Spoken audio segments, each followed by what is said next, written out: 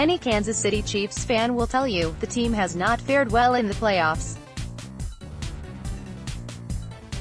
There are superstitions abound that the Chiefs' faithful hope will aid their team this time around. One in particular stood out. According to Tom Martin of KCTV5, Renee Lawrence and Hershel McWilliams were ready for Kansas City to exact revenge on the Colts. The two teams met 15 years earlier in the same stadium. The siblings, along with the rest of their family were watching with bated breath. Their mother, Jennifer McWilliams, was battling cancer.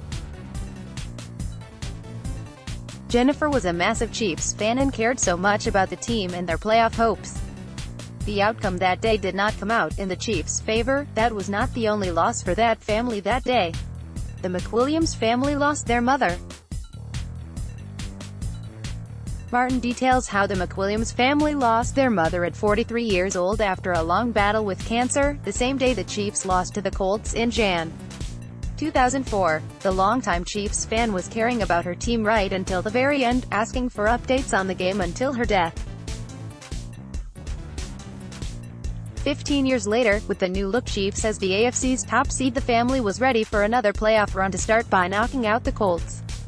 That is why if you were watching on TV, you noticed an empty seat in section 316 of Arrowhead Stadium.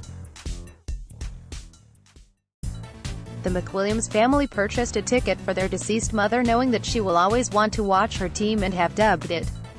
The family is not done just yet. In a follow-up to the tweet above, Martin screenshots a tweet from Renee Lawrence about wanting to do it again. The Chiefs host the New England Patriots Sunday night for the AFC Championship game in Arrowhead Stadium.